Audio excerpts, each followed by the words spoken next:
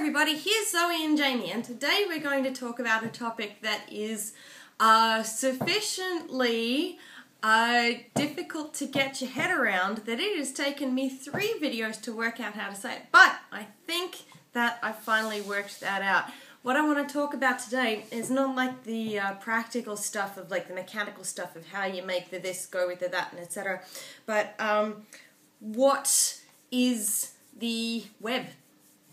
Uh, what is the World Wide Web because that's really uh, what we're making stuff for. So if we're making all these lovely websites for the World Wide Web, well, what on earth does that actually mean?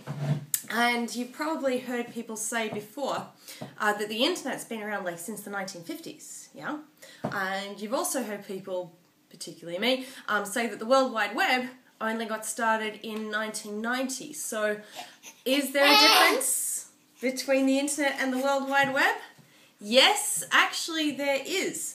Um, the internet is the big collection of networks, and the World Wide Web is a subset of the internet. So, if you want to be kind of boring about it, you could say that the internet is a network of networks, and the World Wide Web is a network of documents. Websites, in this context, mean documents. So, what is the World Wide Web? Well, the World Wide Web is fundamentally any bit of the internet that you can get to using a web browser. Hence, web browser. You, you kind of see what they did there, right? Web browser. So, it's uh, made of a bunch of um, interconnecting bits. First one is browsers. That's uh, Firefox, Internet Explorer, or Chrome. That's one.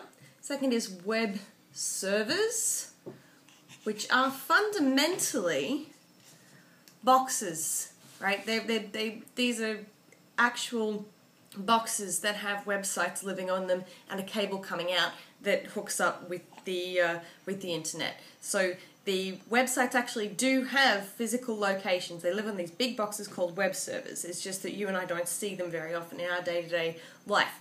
Okay, so we've got the web servers, we've got the web browsers, we've got the web servers, and they talk to each other via a protocol which you will have seen a hundred thousand times, I guarantee it, which is HTTP, which is the hypertext. That's links, by the way. Hypertext just means links from one web page to another web page.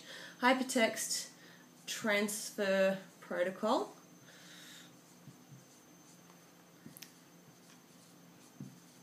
There we go. Right.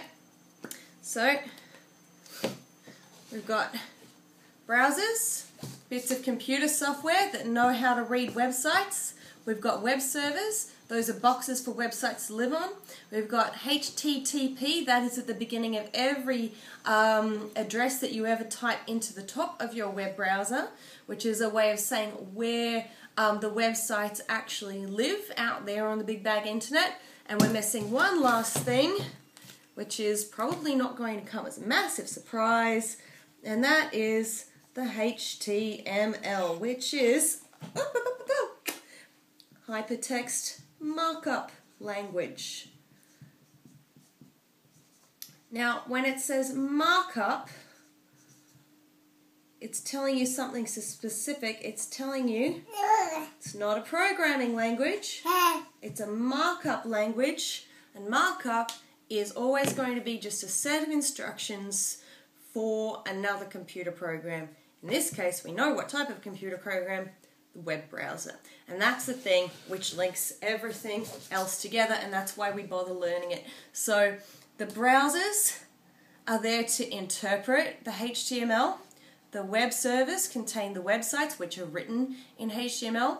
The HTTP addresses send us to places where HTML lives. But underneath it all, the thing which makes it work is that they all speak the same language. And that language is HTML. Look, see, there's, there's actually the word language right there. So all those four things go together because they all speak the same language, HTML. And that's why we bother.